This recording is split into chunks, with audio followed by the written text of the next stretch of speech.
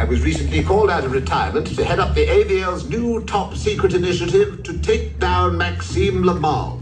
And that's where you come in. We need volunteers. We are looking for the strong, the mighty, Oh, uh, the fearless. uh, nope. We need the best of the best. Uh, So, who's it going to be? yes, nice work, gentlemen. uh.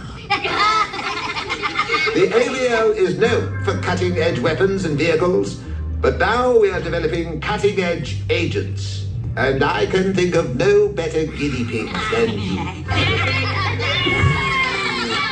You will be the first to test our super serum, designed to transform you into elite agents with powers and abilities far beyond those of mortal man.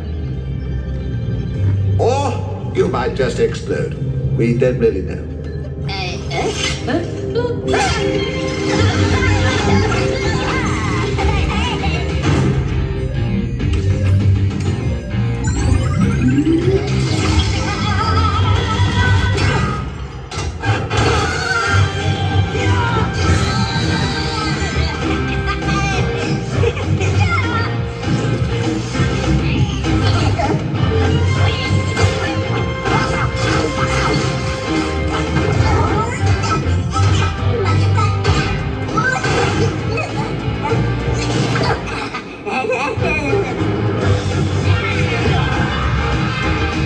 Ladies and gentlemen, I give you the Mega Minions!